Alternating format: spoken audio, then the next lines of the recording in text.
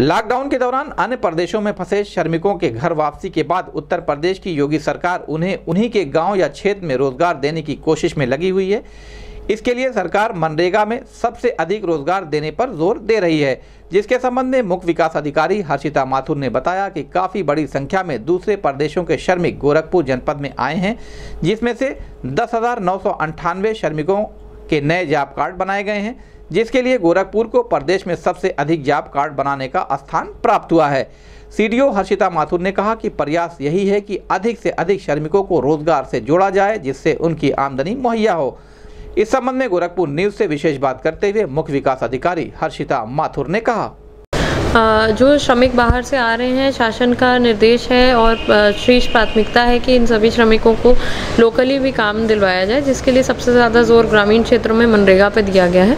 गोरखपुर जनपद में भी जैसा कि सभी लोगों को विदित है, काफ़ी बड़ी संख्या में श्रमिक यहाँ आए हैं और जो श्रमिक हमारे आइसोलेशन सेंटर्स में या होम क्वारंटीन में गए थे, उसमें एक पाँच दिनों का अभियान चलाया गया था, जिलाधिकारी महोदय के निर्देश पे, जो एक तारीख से शुरू किया था अंतर्राष्ट्रीय श्रम दिवस को।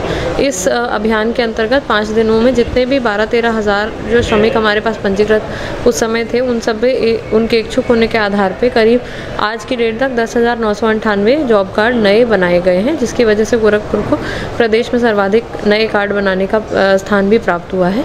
प्रयास यही है कि उनको दोनों तरह से श्रमिकों को जोड़ा जाए, जिससे कि उनकी जो आमदनी है वो हो जाए। और उनको जो आर्थिक संकट का सामना ना करना पड़े। इसमें दोनों तरह से हमने कोशिश की है। मनरेगा में ग्रामीण इलाकों में काम दिया जा रहा है। साथ ही जो कार्यदायी संस्थाएँ सरकारी हैं, जहाँ पर अकुशल श्रमिक की आवश्यकता है या इवन अर्धकुशल श्रमिक की आवश्यकता है तो उनकी भी चार्टिंग की गई है और उनको भी कार्यदायी संस्थाओं को उपलब्ध कराया गया है?